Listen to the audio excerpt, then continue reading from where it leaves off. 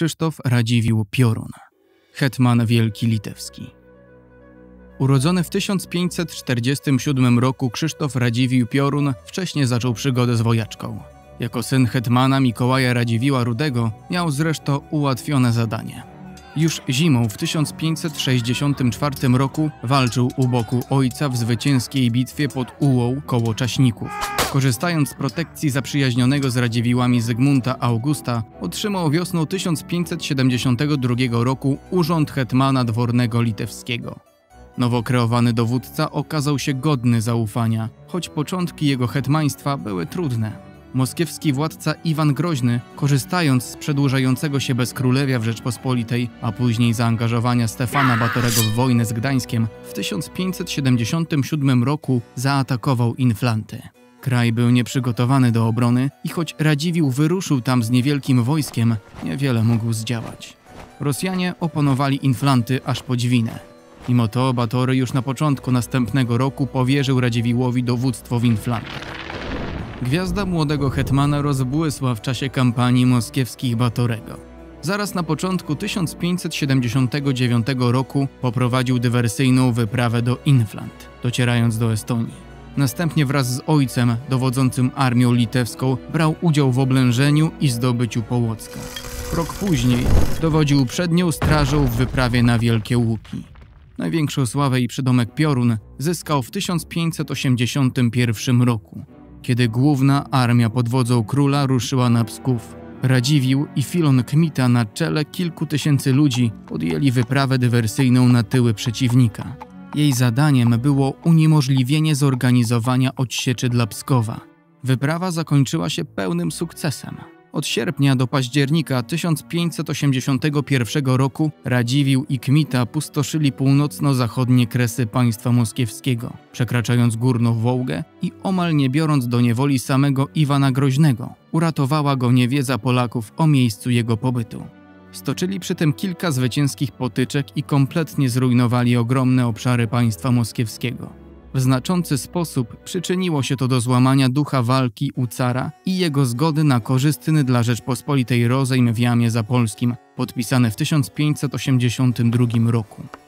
W nagrodę za swe sukcesy w 1584 roku Krzysztof otrzymał od Stefana Batorego województwo wileńskie po ojcu, a w 1589 roku Zygmunt III mianował go hetmanem najwyższym litewskim tym samym roku Piorun towarzyszył królowi w spotkaniu z królem Szwecji Janem III w Rewlu.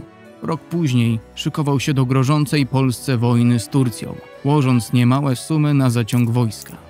Do konfliktu ostatecznie nie doszło, lecz warto zauważyć, że Radziwiłł nie obawiał się zaangażować w konflikt daleko od granic Litwy. Niestety, kłopoty z odzyskaniem pieniędzy wyłożonych na zwerbowanie żołnierzy ostudziło jego zapał. Nie dał się zatem wciągnąć w walki z Tatarami w 1595 roku, ograniczając się do zwalczania napadających na Litwę kozaków Semena Nalewajki. Po raz drugi Piorun zabłysnął jako wódz w czasie wojny ze Szwedami, która wybuchła w 1600 roku. Pozbawiony tronu szwedzkiego Zygmunt III ogłosił wcielenie Estonii do Rzeczpospolitej.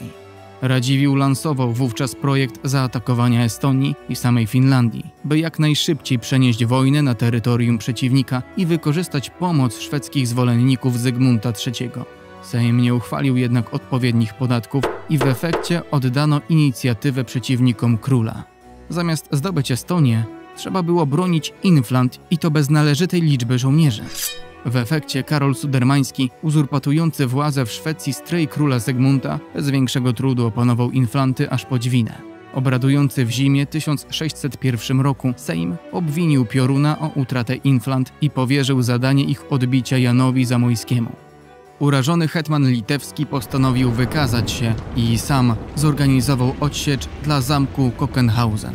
Ta położona nad Dźwiną twierdza była dłuższy czas oblegana przez Szwedów. Zajęli oni miasto, lecz nie zdobyli zamku. Jego utrzymanie było ważne dla zablokowania wrogowi drogi na Litwę. Hetman na czele ledwie czterech tysięcy ludzi oblegał Szwedów zamkniętych w mieście. Na odsiecz im ruszyła pięciotysięczna armia szwedzka dowodzona przez Karla Karlsona Glenhielma, syna Karola Sudermańskiego. Radziwiłł, mając za plecami Szwedów w mieście, 23 czerwca przyjął bitwę. Rozegrał ją świetnie, gromiąc najpierw nieprzyjacielską rajtarię, a później ogniem artylerii niszcząc piechotę. Widząc klęskę swych rodaków, szwedzka załoga w Kokenhausen poddała się. Triumf nad Szwedami był ostatnim zwycięstwem hetmana. Rychło przekazał dowództwo w Inflantach Janowi Zamojskiemu, a sam wycofał się z wojny. Zmarł niebawem, w listopadzie 1603 roku. Do dziś uchodzi za jednego z najwybitniejszych hetmanów litewskich.